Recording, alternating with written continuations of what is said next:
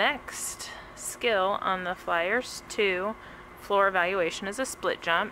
Arms up, swing, split jump. You want to make sure that back leg is straight, not bent. Some kids like to kick their leg up like that and they'll argue with you and tell you it's straight, but it's clearly not.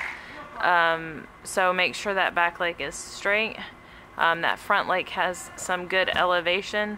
Um, kids also will kick the back leg up really high and keep that front one down, almost like a sissone.